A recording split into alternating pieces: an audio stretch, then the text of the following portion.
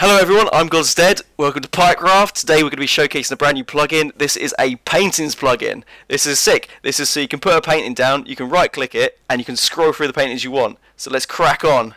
Right, Marcus, get a painting, plop it down, right click, scroll on your mouse, select the painting you want. How cool is that? Now to lock it in place you can either look away, ka-ching, or you can just right click on it again. So you scroll through, I like the bear one, right click, Bosh.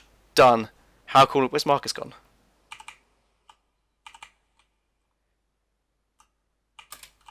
Secret vault, do not enter.